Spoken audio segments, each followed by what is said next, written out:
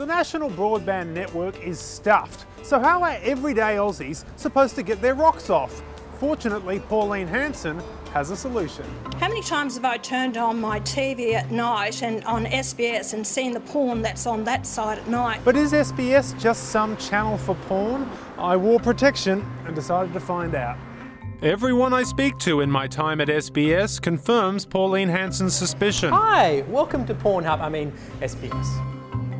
While most news organisations get their stories through Reuters, we like to use a source which better represents the SBS brand. It's called Reuters. Their coverage of Two Girls One Cup won a Pulitzer.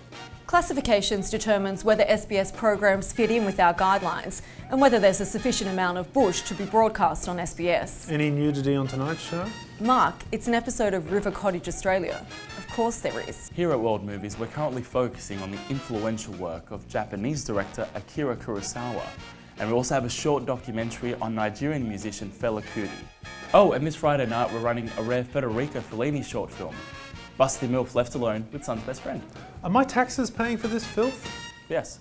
Good. আমি একটা Bangla radio producer I don't understand what you said, but I'm going to assume it was sexually explicit.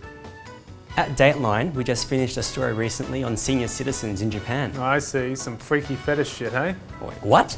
Is it true that one of the destinations for next season's Destination Flavour is Pussytown? No. Let me write that down. Well, there you have it. SBS really is a channel for porn. So why the fuck aren't you watching? Get in there! SBS, channel for porn.